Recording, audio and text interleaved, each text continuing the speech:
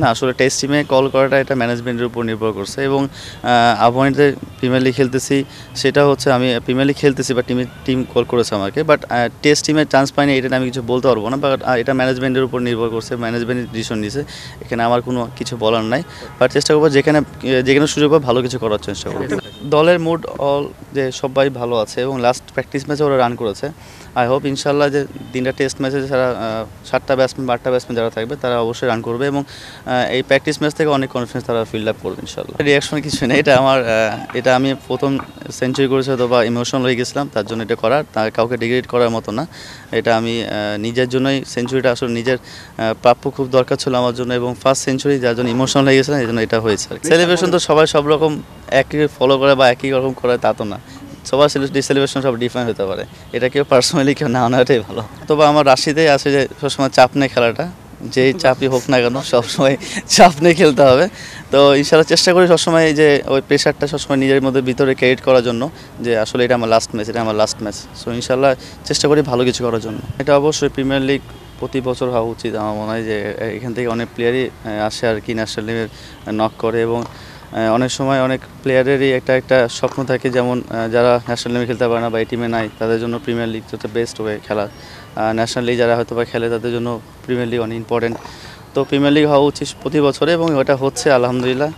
সব প্লেয়ারদের জন্য অনেক ভালো এবং খেলতে পারছে, খেলাটা মাঠে হচ্ছে, এটা বড় বিষয়। হ্যাঁ যারা বিপিএলে চান্স পায় না, তাদের জন্য এটা অনেক ইম্পর্টেন্ট একটা টুর্নামেন্ট আসলে সবাই তো বিপিএল সুযোগ পায় না, কারণ বিপিএল হচ্ছে অনেক বড় একটা মঞ্চ আর সবাই সুযোগ পায় না। তো প্রিমিয়ার লিগ আগে যদি এটা টি টোয়েন্টি টুর্নামেন্ট করা যায় অ্যাটলিস্ট দেখা যায় যে দেশি প্লেয়াররা কেমন পারফর্ম করছে, এর সাথে সাথে একটা প্রিপারেশনের ক্যাম্প হয়ে যায় যে প্রিমিয়ার লিগের জন্য। তো ওভারঅল সব দিক থেকে যদি চিন্তা করা যায় টি টোয়েন্টি আগে হওয়াটা একটা অনেক ইম্পর্টেন্ট এবং প্লেয়াররা যারা ভালো খেলবে ইনশাল্লাহ এটা কনফিডেন্স নিয়ে প্রিমিয়ার লিগে যাবে ইনশাল্লাহ কালকে ম্যাচ কালকে আমাদের ম্যাচ আছে আন্ডার লাইটস ইনশাল্লাহ চেষ্টা করব ভালো কিছু করার জন্য এবং প্রথম ম্যাচ জেতার চেষ্টা করব আমরা। ম্যাচ প্র্যাকটিস সবচেয়ে বড় ইম্পর্টেন্ট একটা প্লেয়ারের জন্য। এটা যেখানে খেলেন না কেন, এটা বাইরের দেশের বাইরে খেলেন বা ওয়ার্ল্ড কাপ খেলেন বা টুর্নামেন্ট খেলেন বা দেশের ভিতরে টুর্নামেন্ট ছোটো টুর্নামেন্ট হোক না কেন, ম্যাচ ম্যাচ প্র্যাকটিসটা আমার কাছে অনেক ইম্পর্টেন্ট আমি যদি ম্যাচ খেলতে পারি, যদি রান করতে পারি, তাহলে কনফিডেন্সটা আমার কাছে ইম্পর্টেন্ট যে, ওই কনফিডেন্সটা আমি হয়তো বা নেক্সট সিরিজে যাব খেলতে। না দেখেন, সব জায়গারই সব দেশেরই একটা হোম অ্যাডভান্টেজ অবশ্যই ওরা নিবে। আমাদের যখন ওরা আসছিল তখন আমরা হোয়াইট ওয়েসি করেছিলাম, পাঁচ নীল জিতছিলাম, বা তিন নীল জিতছিলাম। তো ওরাও যেন গেছে, আমরা সবসময় চেষ্টা করি যে হয়তো বা ওয়েদারটা বা পিচটা আমরা হয়তো বা অ্যাডজাস্ট করতে পারিনি হয়তো বা প্রথম দশটা ওভারে আমাদের খুব রাতে উইকেট পড়ে গেছে, যার কারণে আমরা বিগেস করতে পারি নাই।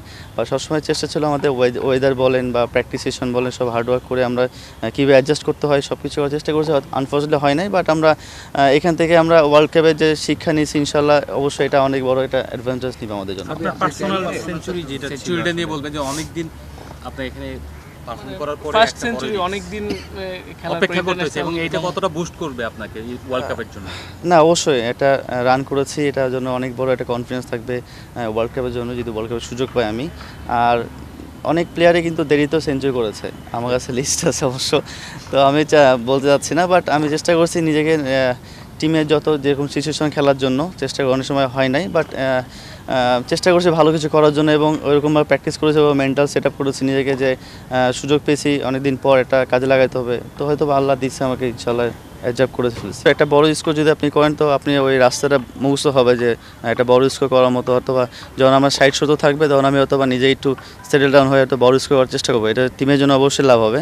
বাট ওই সময় লাস্ট স্কোর ছিল আমার সিক্সটি ফাইভ এটা আমার হাইস্ট স্কোর ছিল ওটা বা আমি আউট হয়ে গেছি। বাট ওইখান থেকে আমি সেঞ্চুরি মারার পর আমি শিখেছি যে, আসলে বড় স্কোরটা কীভাবে করতে হবে। তো আমি চেষ্টা করব যে যে সময় আমি সবসময় চেষ্টা করব বড় স্কোর রান করার জন্য।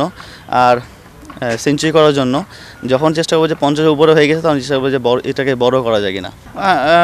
রান করেছি কনফিডেন্সটা ভালো আছে প্রিমিয়ারটা ভালো করার চেষ্টা করব। নেক্সট সিরিজের জন্য প্রিপারেশন নিব। আমার যদি কোনো উইক পয়েন্ট থাকে, ওটা নিয়ে কাজ করব। অল ওভার যে রান করেছি তা আমার উইক পয়েন্ট নাই, তাও না। কিন্তু আমি চেষ্টা করব আরও কিছু ভালো বেটারমেন্ট কিছু করার জন্য।